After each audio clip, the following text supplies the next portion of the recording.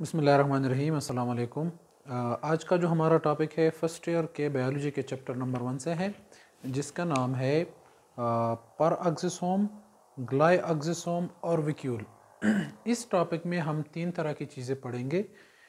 एक है पर अग्जिसोम एक है ग्लाई अग्जिसोम और तीसरा है विक्यूल असल में पिछले लेक्चर में हमने लाइसोसोम के बारे में पढ़ा था और यही जो दो चीज़ें हैं परक्जिसोम और ग्लाइक्जिसोम ये बिल्कुल सेम उसी की तरह है लाइसोसोम की तरह है लेकिन इसके फ़ंक्शन में थोड़ा सा फ़र्क है। तो इसके बारे में हम थोड़ा सा डिटेल में पढ़ेंगे कि ग्लाइक्जिसोम क्या करता है परक्जिसोम क्या करता है ये कहाँ मौजूद होता है और ये किस तरह बना होता है। तो आ, आते हैं अपने टॉपिक की तरफ़। सबसे पहले हम पढ़ेंगे पर अग्जिसोम पर अग्जिसोम जिस तरह के इसके नाम को देखा जाए तो ये दो तरह की चीज़ों से बना है। पर ऑक्स और दूसरा है सोमा। पर ऑक्स का मतलब है पर ऑक्सीडेज और सोमा का मतलब है बॉडी। तो पर अग्जिसोम जो है, ये एक बॉडी है जिसके अंदर एंजाइम पड़ा हुआ है जिसका नाम है पर ऑक्सीडेज ये नाम इस वजह से दिया गया है क्योंकि इसके अंदर जो एंजाइम मौजूद होता है वो पर ऑक्सीडेज होता है। इस वजह से इसको पर भी कहा जाता है। और ये क्या चीज़ है? Single membrane bounded organelle also known as micro bodies इसको माइक्रो बॉडी भी कहा जाता है। ठीक है? मतलब अगर आपको बुक में माइक्रो बॉडी के नाम से अगर कोई टॉपिक नज़र आता है तो इसका मतलब पर अग्जिसोम ही होगा। अच्छा ये इसका डायमीटर देखा जाए तो ये बहुत ही छोटा है 0.5 माइक्रोमीटर इसकी डायमीटर होती है। और ये एनिमल सेल और प्लांट दोनों में पाया जाता है। ये याद रखें कि परक्जिसोम प्लांट और एनिमल दोनों में पाया जाएगा। अगर ग्लाइक्जिसोम को देखा जाए तो वो सिर्फ़ प्लांट सेल में पाया जाएगा, लेकिन पर अग्जिसोम प्लांट और एनिमल दोनों में पाया जाता है।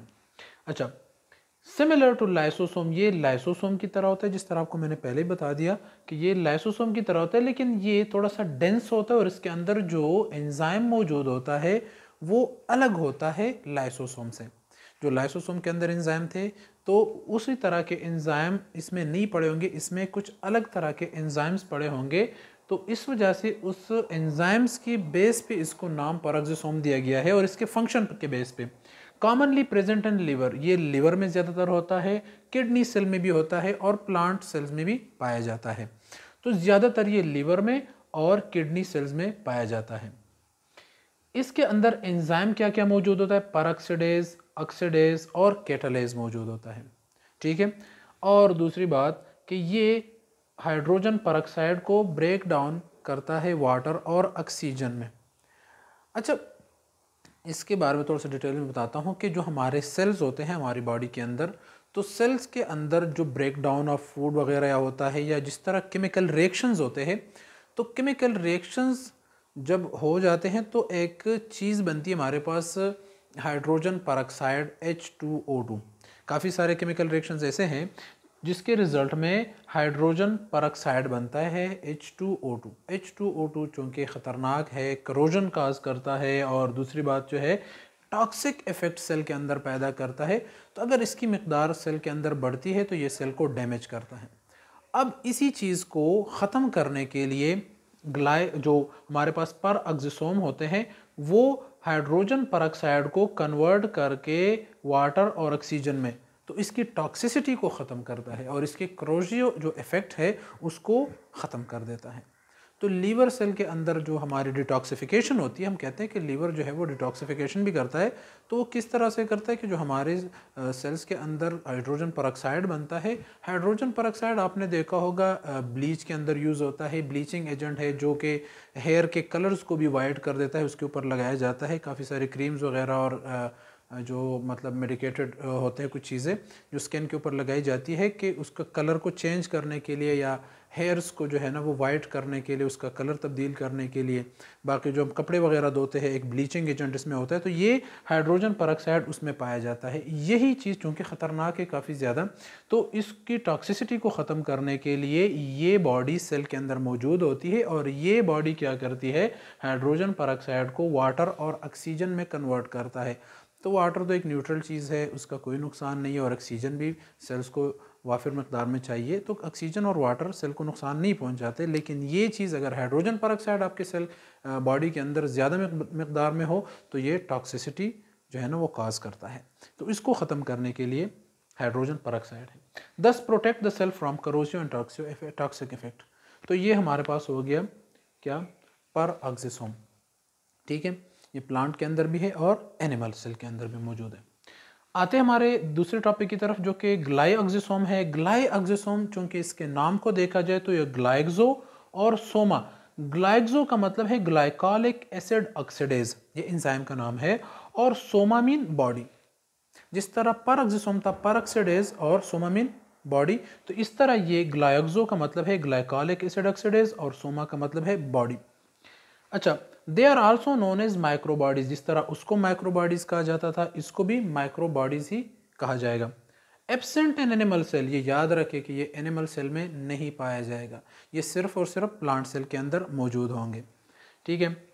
Present and plant cell seedling of oily seed तो ये जो है मतलब अब हम सीड की तरफ़ आते हैं तो सीड जो है, फ़र्ज़ करो हमारे पास एक सीड है, जिसके अंदर लेपिड्स ज़्यादा मकदार में पाया जाता है, उसमें होता है तो वो लेपिड्स जो है वो डायरेक्टली उसको एनर्जी नहीं प्रोवाइड करता। लेपिड्स को कार्बोहाइड्रेट्स में कन्वर्ट करके तब इससे फ़ायदा लिया जा सकता है, उसको मतलब जो है इस्तेमाल में लाया जाता है। तो उस लेपिड्स को कन्वर्ट करने के लिए कार्बोहाइड्रेट में मतलब लिपिड्स को कार्बोहाइड्रेट में कन्वर्ट करने के लिए जो एंजाइम चाहिए वो है ग्लाइकोलिक एसिड ऑक्सीडेज तो ये ग्लाइक्सोम क्या करता है? इसके अंदर मौजूद होते हैं तो ये सीड के अंदर लिपिड्स को कार्बोहाइड्रेट्स में कन्वर्ट करता है और इनिशियली एनर्जी प्रोवाइड करता है सीड को जर्मिनेशन के लिए।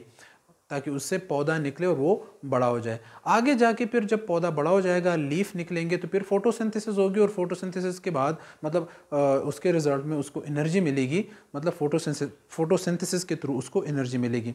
लेकिन आ, ये इनिशियल स्टेज में चूँकि फोटोसिंथेसिस तो है ही नहीं मतलब सीड है वो मिट्टी के अंदर पड़ा हुआ है तो वो वाला एक्शन मतलब वो वाला रिएक्शन तो होता ही नहीं है। मतलब लीफ नहीं है ताकि वो सनलाइट लेके फोटोसिंथेसिस करे और ग्लूकोज बनाए। तो उससे पहले मतलब जो लेपिड्स इसके अंदर स्टोर है, वो कन्वर्ट होगा कार्बोहाइड्रेट में और कार्बोहाइड्रेट जो है वो उसको एनर्जी प्रोवाइड करेगा इनिशियल ग्रोथ में उसको हेल्प करेगा। ठीक है? तो ये absent in animal cell present and plant cell seedling of oily seed जो सीड आयली होंगे ठीक है, वो सीड जिससे ऑयल निकलता है तो उसके अंदर ये ज़्यादा मकदार में पाया जाएगा। कंटेन एंजाइम्स जिसके अंदर एंजाइम मौजूद होता है glycolic acid oxidase and catalase ये एंजाइम इसके अंदर पाए जाते हैं। During germination of oily seeds these enzymes convert lipids and to carbohydrates ठीक है एंड प्रोवाइड एनर्जी मतलब लिपिड्स को कार्बोहाइड्रेट में कन्वर्ट करके इसको एनर्जी प्रोवाइड कर देता है। तो ये हो गया हमारे पास ग्लाई ऑक्सीसोम स्ट्रक्चर के पास आते हैं तो मतलब इसके अंदर जो स्ट्रक्चर होगा, वो कोर होगा, ऊपर उसका मैट्रिक्स है मेम्ब्रेन है ना मेम्ब्रेन है और फिर ये मैट्रिक्स है मैट्रिक्स के अंदर क्या चीज़ है कोर मौजूद है। ठीक है? और कोर के अंदर इंजाइम्स पड़े हुए ग्लाइकोलिक एसिड ऑक्सीडेज अच्छा अब आते हैं विक्यूल की तरफ़ तो विक्यूल हमारा जो थर्ड नंबर टॉपिक है विक्यूल है। विक्यूल क्या चीज़ है? ये भी सेल के अंदर पड़ा होता है एनिमल सेल के अंदर भी और प्लांट सेल के अंदर भी। पड़ा हुआ है। विक्यूल जो है, अगर इसके नाम को देखा जाए तो ये विक्यूल क्या चीज़ है? Vacuole hollow liquid filled structure है। मतलब एक हालो एक खाली अंदर से मतलब इसके अंदर कोई और केमिकल्स वगैरह जो है वो नहीं है, लेकिन इसके अंदर पानी पड़ा होता है। एक लिक्विड फेल्ड केविटी होती है इस तरह की मतलब एक जो है ना, गुब्बारा टाइप बना हुआ है, जिसका ऊपर एक मेम्ब्रेन है और मेम्ब्रेन के अंदर लिक्विड पड़ा हुआ होता है। तो इसको हम विक्यूल कहते हैं। विक्यूल जो है, वो प्लांट और एनिमल दोनों सेल्स के अंदर पाया जाता है, लेकिन इसमें थोड़ा सा फ़र्क है। एनिमल सेल में मतलब छोटा होता है साइड्स पे पड़ा होता है।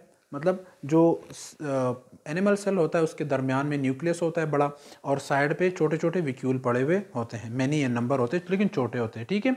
और इसका काम एनिमल सेल के अंदर क्या है कि ये स्टोरेज करता है कार्बोहाइड्रेट लिपिड्स वगैरह का। तो ये कार्बोहाइड्रेट्स और लिपिड्स की स्टोरेज भी करता है। ठीक है? अच्छा अमीबा के अंदर अगर देखा जाए यूनिसेलर ऑर्गेनिज्म है अमीबा तो अमीबा के अंदर विक्यूल जो पड़ा होता है, उसको हम कहते हैं कॉन्ट्रेक्टाइल विक्यूल अच्छा तो वो एक्सक्रीशन के लिए यूज़ होता है। तो जो अमीबा एक्सक्रीशन करता है वो एक्सक्रीशन इसी कॉन्ट्रेक्टाइल विक्यूल के थ्रू इसमें चीज़ें स्टोर हो जाती है और फिर सेल से बाहर निकलती है या अमीबा से बाहर निकलती है। तो ये तो हो गया एनिमल के अंदर। और दूसरी बात, हम प्लांट के अंदर जब इसकी बात करते हैं तो प्लांट के अंदर आप देखेंगे कि सेंटर में लार्ज विक्यूल होगा। एक होगा सेंटर में होगा और लार्ज होगा। और इसी की वजह से जो प्लांट के सेल के अंदर जो न्यूक्लियस है, वो साइड पे होता है और छोटा होता है। ठीक है? अच्छा उसके मेम्ब्रेन को हम कहेंगे टोनोप्लास्ट प्लांट सेल के अंदर जो विक्यूल बना हुआ होता है, उसके मेम्ब्रेन को टोनोप्लास्ट कहा जाता है सिंगल मेम्ब्रेन होता है। और इसका फ़ंक्शन प्लांट के अंदर क्या होता है, ये प्रेशर को मेंटेन करता है। सेल को पानी दिया जाता है तो सेल जो है पानी साइटोप्लाज्म के अंदर चला जाता है, फिर विक्यूल के अंदर चला जाता है विक्यूल स्वेलअप होता है मतलब साइज़ में बढ़ता है तो ये सेल के साइज़ को भी बढ़ा देता है। विक्यूल जब बड़ा हो जाता है तो वो प्रेशर डालता है साइटोप्लाज्म पे। साइटोप्लाज्म सेल मेम्ब्रेन के ऊपर प्रेशर डालता है सेल मेम्ब्रेन जो है वो सेल वाल के ऊपर प्रेशर डालता है। तो इस प्रेशर को हम टर्गर प्रेशर कहते हैं। तो आपने सुना होगा कि ये शेप भी मेंटेन करता है सेल की और ये टर्जिडिटी में जो है ना वो अहम किरदार अदा करता है। टर्गर प्रेशर आपने नाइन्थ क्लास में पढ़ा होगा। और दूसरा मतलब ये प्रेशर जो है ये बढ़ता है, लेकिन ये एनिम, एनिमल सेल के अंदर नहीं, प्लांट सेल के अंदर ये जो है ना, टर्गर प्रेशर को मेंटेन करता है। क्योंकि प्लांट सेल के अंदर के सरफेस पे जो है वो क्या होता है सेलवाल होता है तो सेलवाल जो है इस टर्गर प्रेशर को मतलब कैंसिल करता है मतलब वाल प्रेशर डाल के। सेलवाल उसके ऊपर वाल प्रेशर डालता है और ये साइटोप्लाज्म और विक्यूल की वजह से एक प्रेशर बनता है, जिसको हम टर्गर प्रेशर कहते हैं। तो इसका रोल प्लांट सेल के अंदर क्या है, ये प्रेशर को मेंटेन करता है, सेल के अंदर। और स्टोरेज भी करता है, ठीक है? और एनिमल सेल के अंदर हमने बता दिया कि वो भी स्टोरेज करता है और अमीबा जो मूवमेंट करता है अमीबा के अंदर जो वेस्ट मटेरियल अमीबा से बाहर निकलता है तो कंट्रेक्टाइल विक्यूल के थ्रू होता है। तो ये थे हमारे पास हमारे जो आज के तीन टॉपिक एक था हमारा पराक्सिसोम दूसरा ग्लाइक्सोम और तीसरा विक्यूल आज का टॉपिक हमारा ये भी ख़त्म होता है। इन अगला लेक्चर जो है वो हम देंगे साइटोस्केलेटन के बारे में। तो आज का हमारा टॉपिक यही ख़त्म होता है। Thank you Allah half